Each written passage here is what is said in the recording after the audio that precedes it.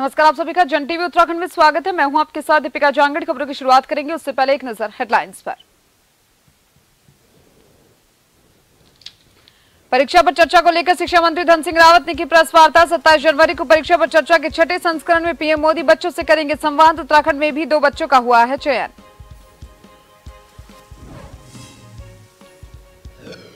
जोशीमठ में भूदसाव के चलते बोर्ड के छात्रों की बड़ी परेशानियाँ। शिक्षा मंत्री रावत ने अधिकारियों को दिए निर्देश। छात्रों का ना, छात्रों को ना हो कोई परेशानी, किसी भी शहर में परीक्षा केंद्र चुनने का दिया विकल्प।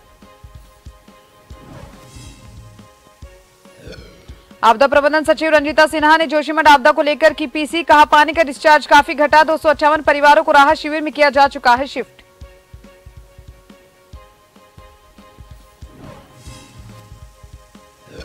कांग्रेस प्रदेश मुख्यालय में हाथ से हाथ जोड़ो अभियान को लेकर हुई महत्वपूर्ण बैठक। बैठक में अभियान के प्रभारी अजय कुमार लल्लू भी रहे मौजूद। छब्बीस जनवरी से हाथ से हाथ जोड़ो अभियान की होगी शुरुआत।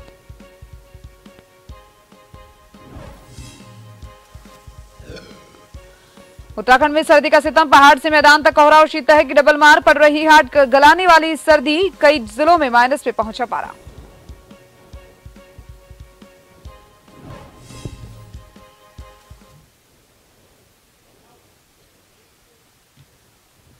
खबरें विस्तार से। प्रधानमंत्री नरेंद्र मोदी आगामी 27 जनवरी को दिल्ली के ताल कचोरा स्टेडियम में परीक्षा पर चर्चा करेंगे और इसके लिए इक्यासी छात्रों ग्यारह शिक्षकों और पाँच अभिभावकों ने रजिस्ट्रेशन कराया है।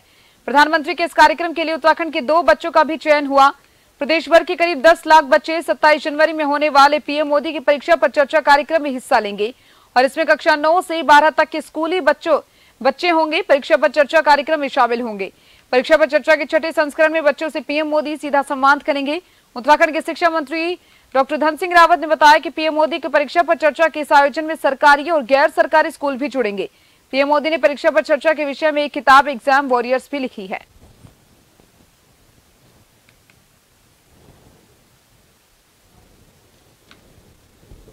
हर साल की भांति इस वर्ष भी 27 तारीख को देश के यशस्वी प्रधानमंत्री जी परीक्षा पे चर्चा कार्यक्रम में पूरे देश के बच्चों को संबोधित करने जा रहे हैं। और हमने तय किया है कि लगभग साढ़े पाँच हज़ार जो हमारे शासकीय, अशासकीय, अर्ध सरकारी विद्यालय हैं, इनमें हम बड़ी बड़ी एलईडी लगा के इस कार्यक्रम को आयोजित करने जा रहे हैं। एवरेज जो है तीन सौ से लेकर चार सौ बच्चे एक कार्यक्रम में रहने वाले हैं। तो एक बड़ा इवेंट ये बच्चों के लिए हो रहा है। उत्तराखंड के जोशीमठ में ज़मीन धसने से पूरी व्यवस्था अस्त व्यस्त हो गई है। इसके चलते वहाँ के छात्रों पर भी काफ़ी प्रभाव पड़ा है। उन छात्रों के ऊपर ज़्यादा असर पड़ने वाला है, जो इस साल बोर्ड परीक्षा में शामिल होने वाली हैं। उत्तराखंड में बोर्ड परीक्षा की तारीखों का ऐलान पहले ही हो चुका है, जो 17 मार्च से 6 अप्रैल 2023 तक होनी है। इस परीक्षा के होने से पहले जोशीमठ में ज़मीन धसने जैसी घटना होने से परीक्षा में शामिल होने वाले छात्रों को बड़ी परेशानी से गुजरना पड़ रहा है। वहीं उत्तराखंड के शिक्षा मंत्री धन सिंह रावत ने इसको लेकर बड़ा फैसला लिया और उन्होंने अधिकारियों को निर्देश दिया कि वह प्रभावित छात्रों को इस बार की बोर्ड परीक्षा में शामिल होने के लिए कोई समस्या नहीं हो। इसके लिए उनकी सुविधा के अनुसार किसी भी शहर में परीक्षा केंद्र चुनने का विकल्प देने का निर्देश दिया है।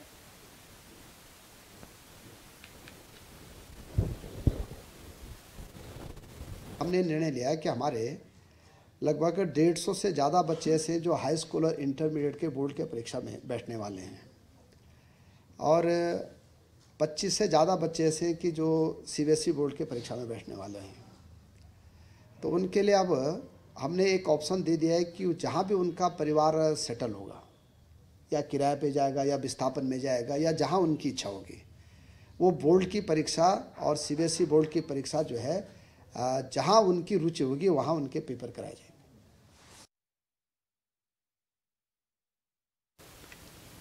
चमोली के प्रभारी मंत्री धन सिंह रावत पिछले पाँच दिनों से जोशीमठ प्रवास पर थे, जहाँ उन्होंने भूस्खलन से प्रभावित हुए लोगों की समस्या जानी। मीडिया से मुखातिब धन सिंह रावत ने कहा कि अब ऐसे कोई स्थान चिन्हित नहीं किए जा रहे हैं, जहाँ पर नई दरारें सामने आ रही है।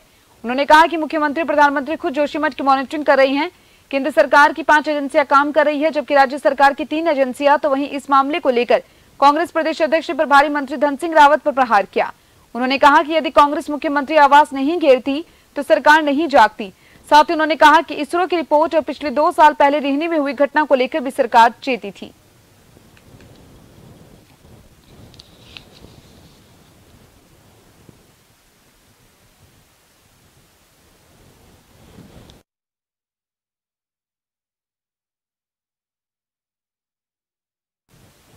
लगातार वहाँ मॉनिटरिंग कर रहे हैं। और हमारी केंद्र सरकार हो, चाहे राज्य सरकार हो जोशीमठ की जनता के साथ खड़ी है। और ये मैं नहीं कह रहा हूँ, ये वहाँ के प्रभावित लोग भी कह रहे हैं कि पहली बार जो है सरकार ने इतने क्विक जो है वहाँ पे व्यवस्थाएँ बनाए हैं।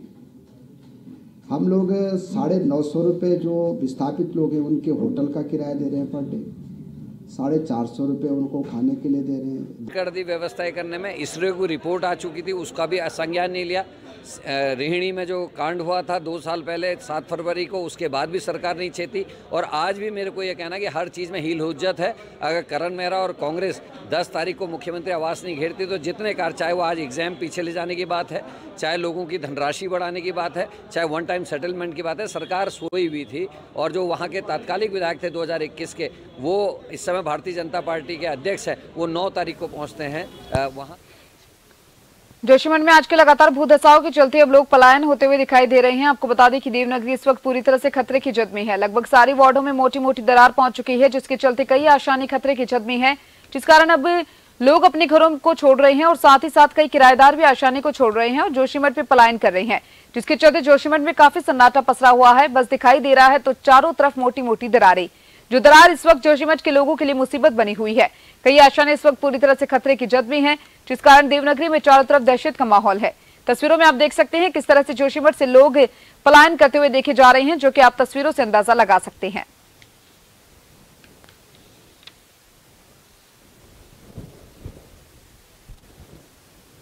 हम जा रहे हैं यहाँ से मायके मायके की तरफ़। कितने जाने तो मन नहीं करा तो क्या करें जाने पड़ेगा। कितने सालों से थे आप में? हम पंद्रह बीस सालों से थे। कितना दुख हो रहा है आपको इस वक्त तो जोशीमठ छोड़ है हमें।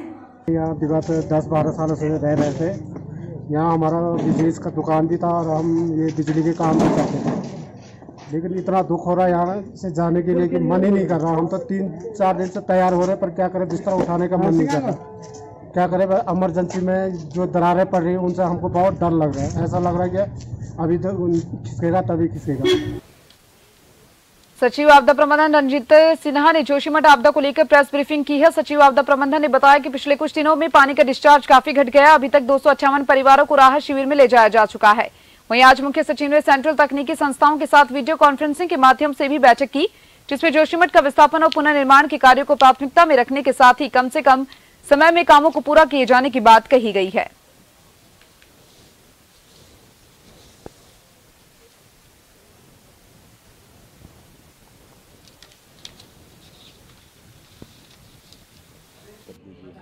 आज, सर्वे का काम अन्य कार्य जनपद में चल रहा है। एक जो महत्वपूर्ण सूचना है, वो ये है कि पानी का, की धारा जो डिस्चार्ज है, वो 123 एलपीएम से 100 एलपीएम हो गया है। और ओवरऑल देखें तो 540 एलपीएम से 100 एलपीएम हो गया। तो एक गुड न्यूज़ है।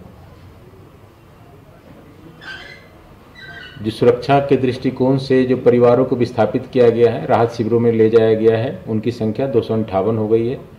बाकी एक जो महत्वपूर्ण आज मुख्य सचिव महोदय ने जो सेंट्रल तकनीकी संस्थाएँ हैं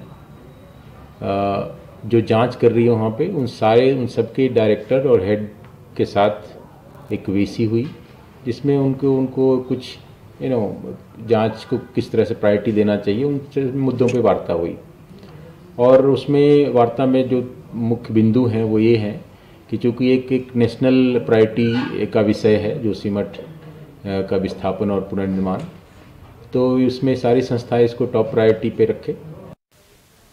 देवनगरी जोशीमठ में लगातार हो रही भूदसाओं के चलते स्थानीय लोगों ने भगवान नरसिंह के मंदिर में पूजा अर्चना की है। वहीं स्थानीय लोगों ने माँ भगवती की भी आराधना की और पूजा अर्चना की। बड़ी बात तो यह है कि जोशीमठ के शंकराचार्य स्वामी अभी मुक्तेश्वरानंद सरस्वती महाराज के सानिध्य में भगवान नरसिंह मंदिर में भवन महायज्ञ का आयोजन भी किया गया, जिस दौरान कई पंडित और विद्वान भी इस महायज्ञ में शामिल हुए।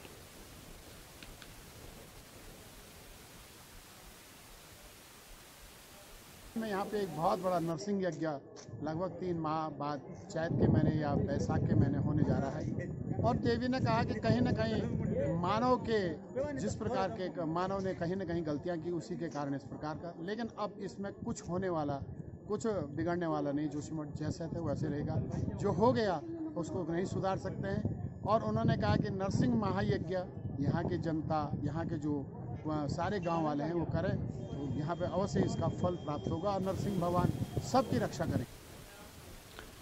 डोईवाला शुगर मिल को यहाँ के लोगों और किसानों के लिए आर्थिक की, आर्थिकी की रीढ़ की हड्डी कहा जाता है। और कुछ सालों में यह मिल घाटे में चल रही थी, जिसकी वजह से सरकार ने इस मिल को बंद करने का निर्णय भी लिया था।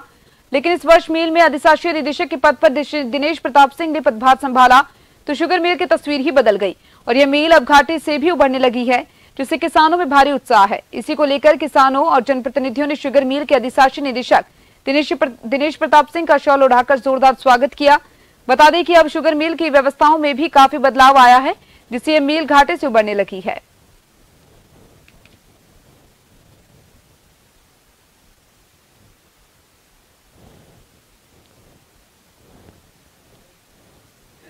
प्रयास मैं कर सकता हूँ, लगातार कर रहा हूँ। और उनका सभी का सहयोग भी है, जिसके कारण ये शुगर फैक्ट्री इस तरीके से चल रही है। और मेरा पूरा प्रयास रहेगा कि उनके जो हमसे उम्मीदें लगाए हुए हैं, उस पर मैं खरा उतरूँ। समर्थन मूल्य सरकार की प्रक्रिया का एक अंश है। और ये प्राय ऐसा देखा गया है कि यूपी का समर्थन मूल्य घोषित होने के बाद उत्तराखंड में समर्थन मूल्य घोषित किया जाता है। हम वर्तमान में जो है, अभी इनका पूर्व में घोषित गन्ना मूल्य के अनुसार भुगतान करने जा रहे हैं। खबरें भी लगातार जारी है। जल्दी लौटेंगे ब्रेक के बाद।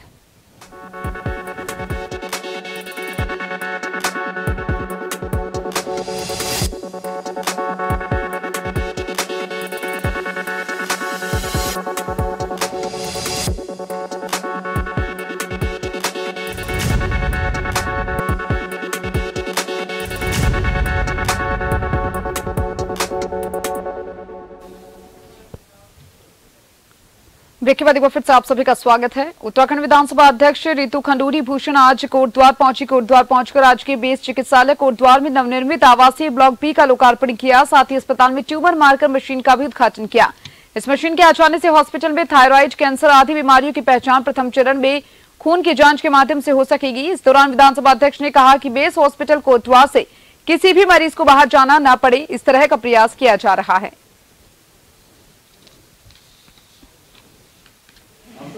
आज मैं बेस हॉस्पिटल कोटद्वार पहुँची और यहाँ पर दो चीज़ों का हमने उद्घाटन किया। एक दस घरों का एक ब्लॉक बना है यहाँ पर फॉर डॉक्टर्स डॉक्टर्स के रहने के लिए मकान बने हैं दस उसमें यूनिट्स हैं।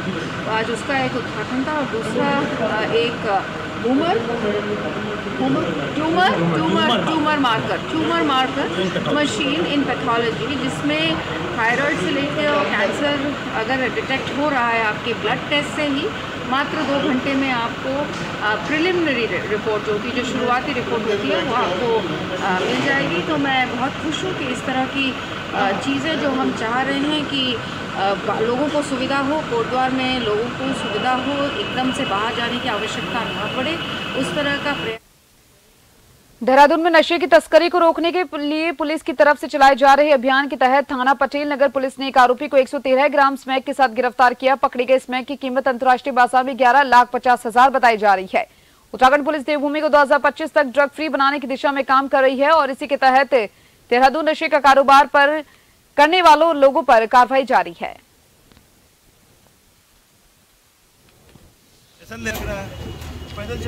उत्तराखंड सरकार ने भी पॉलीथीन को जो पन्नी है, कैरी बैग प्रतिबंधित किया है और माननीय उच्च न्यायालय ने भी इसमें एक पीएलबी विचाराधीन है, जिसमें निर्देश दिए हैं कि इससे बहुत सारे नुकसान हैं और हमारा जो सैनिटेशन का सिस्टम है, वो इससे चोक हो रहा है। लेकिन मैं देख रहा हूँ कि हल्द्वानी सिटी में इस पर कोई प्रभावी कार्रवाई नहीं हो रही है और पिछले छः महीने में कई निर्देश देने के बाद भी, कई वीसीज में कहने के बाद भी इनफैक्ट पॉलीथीन खुलेआम ही बिक रही है।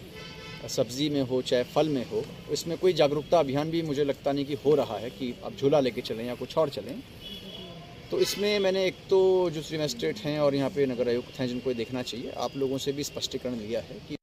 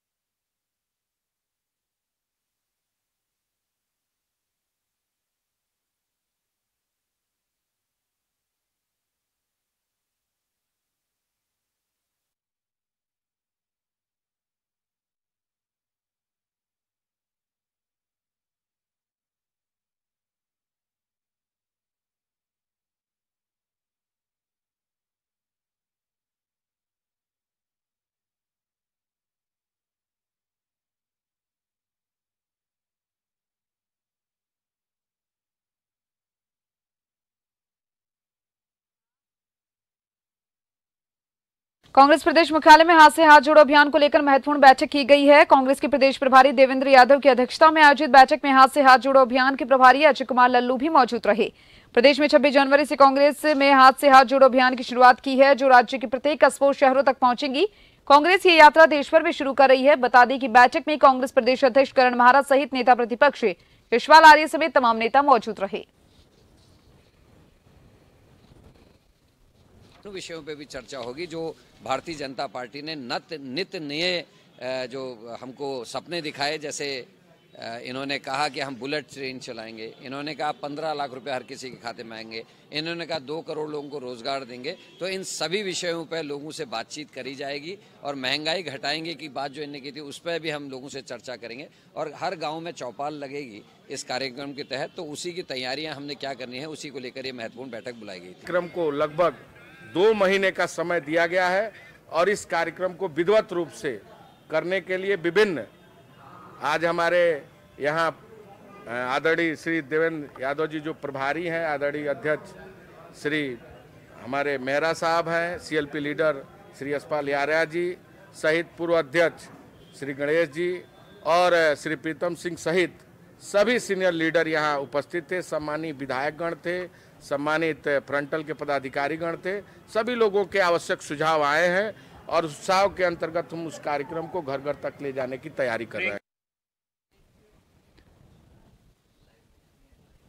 इन सभी खबरों के साथ फ़िलहाल के लिए इस बुलेटिन में इतना ही। नमस्कार।